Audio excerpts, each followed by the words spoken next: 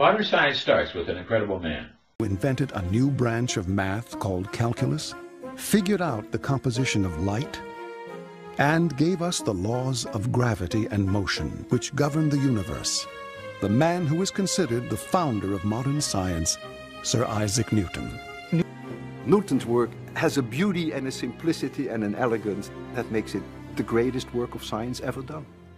This incredible scientific mind looked into gravity, light, perspective, the ideas of religion. He also looked into the science of the elements.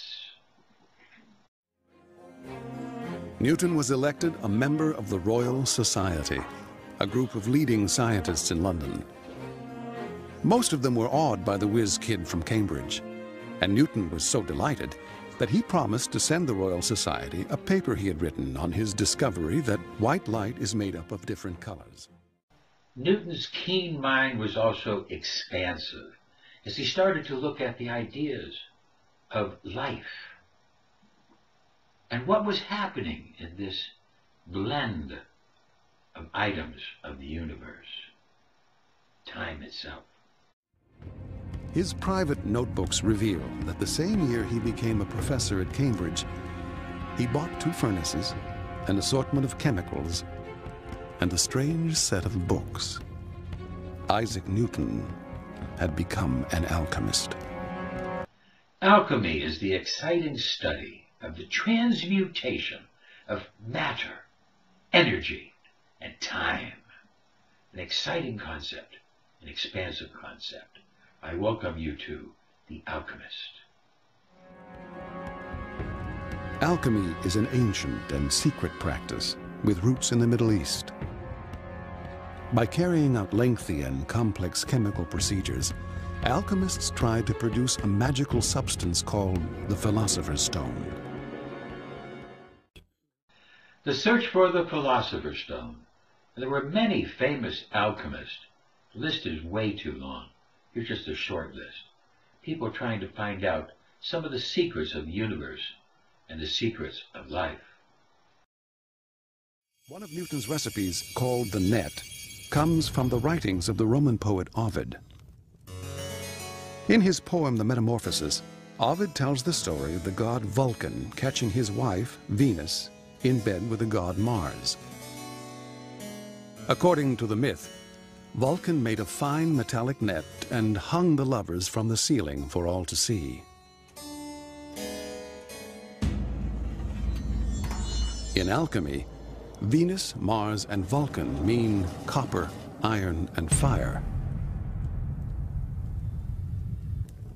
Viewed this way, the myth becomes an alchemical recipe.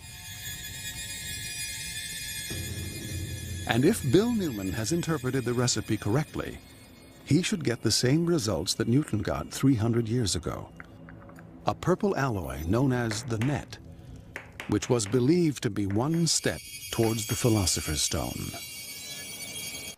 Many have sought the Philosopher's Stone, the concept of alchemy, inside the laboratory.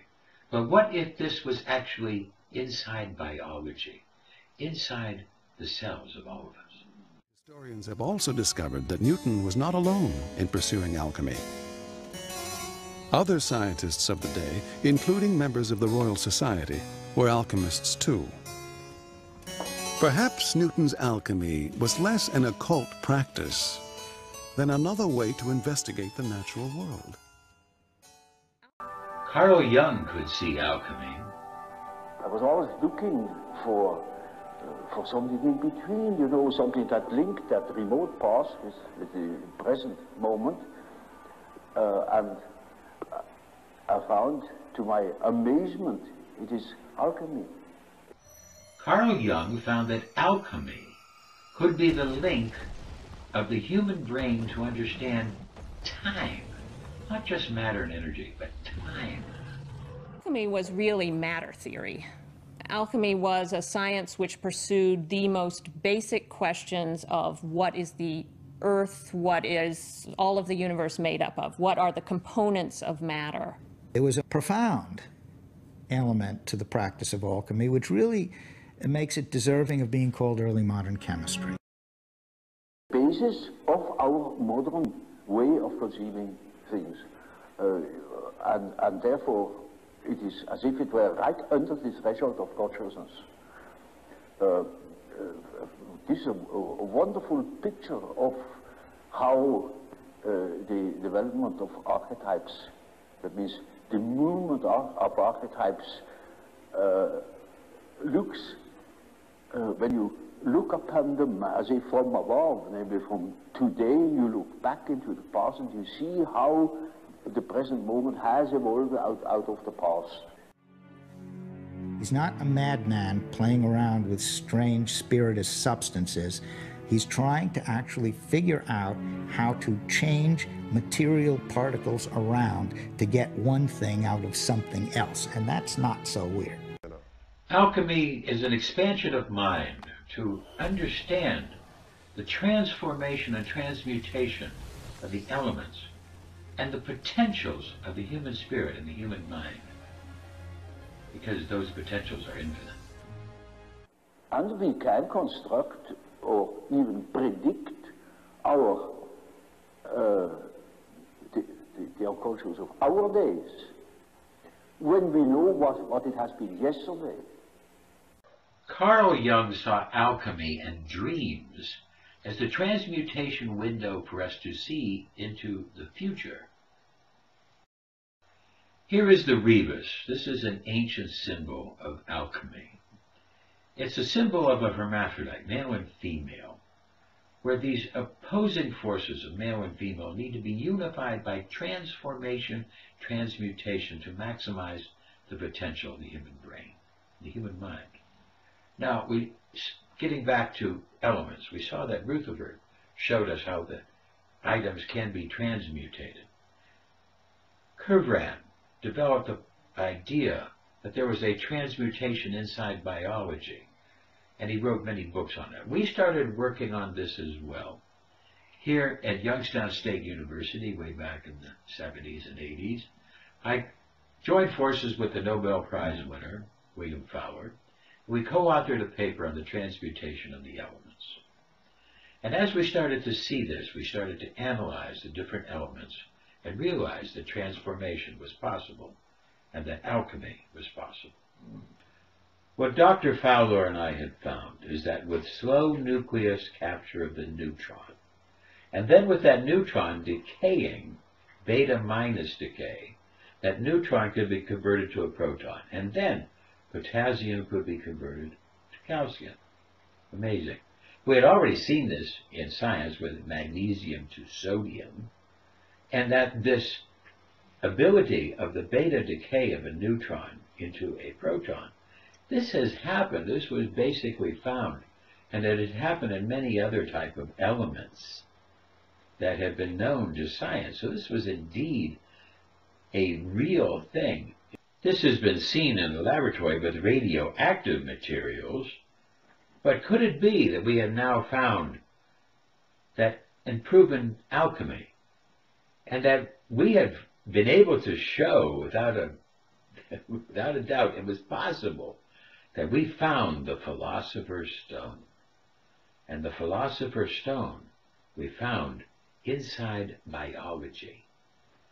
And we've proven that alchemy inside biology was possible. But what about our, the old idea of gold? Well, our idea of the slow neutron capture would apply if we could wanted to convert platinum to gold. Uh, but wait a minute, platinum is more expensive than gold. Uh, we could not find any other way. So the idea of converting into gold, that has eluded us. So we were able to kind of give up on that precept. But back to biology, the basic concept of breatharians, being able to live just on breath, taking in the carbon, the oxygen, the nitrogen, if life could only be possible if there was a transmutation of the elements. So to understand biology, we must understand breatharians. They do exist documented in all the major religions. And only through transmutation would that be possible. But we see that this is through the religions So you have to have a spiritualness in order to be a breatharian.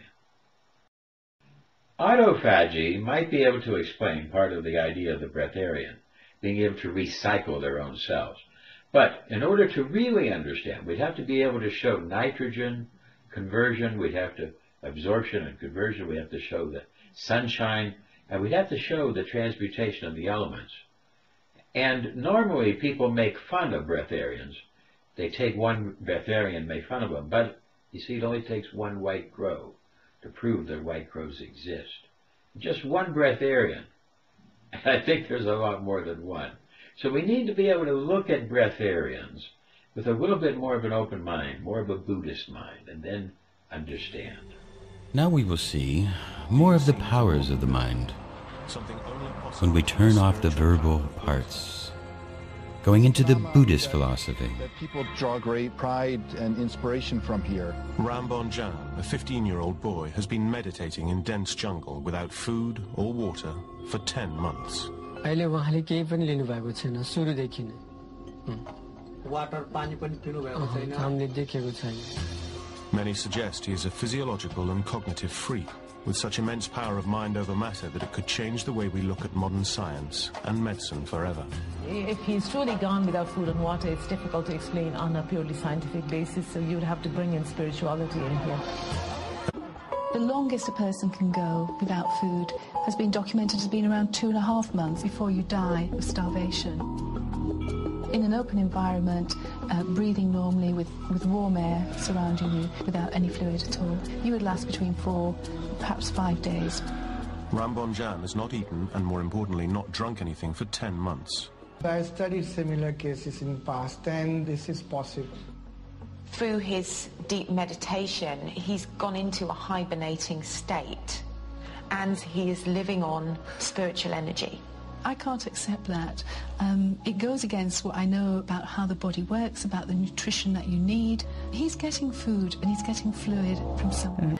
He is surviving on nourishment. The question is, what kind of nourishment? We can't, as Westerners, tap into using spiritual force and spiritual energy for nourishment. That's the key here.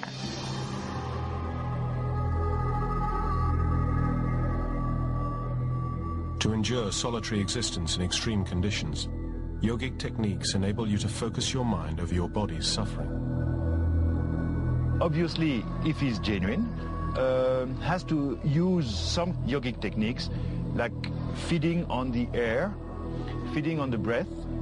Fascinated to see the boy who is fasting for six to eight months and that is uh, not at all really uh, so exciting to me because I studied similar cases in past and I can understand this is possible.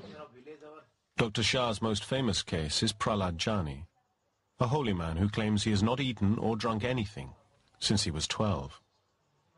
I haven't eaten anything, not even now, even though I'm 80 years old.